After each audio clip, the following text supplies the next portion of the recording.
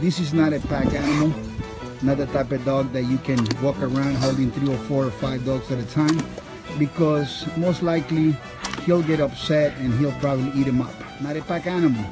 He's, you know, he's a pet, but he's not like a pussy dog. He's more like a, like a warrior type of dog, like a Spartan.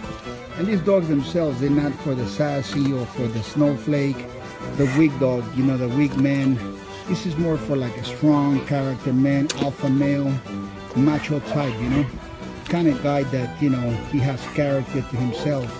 One that never gives up, one that gets inspiration of owning the greatest American Pit Bull Terrier.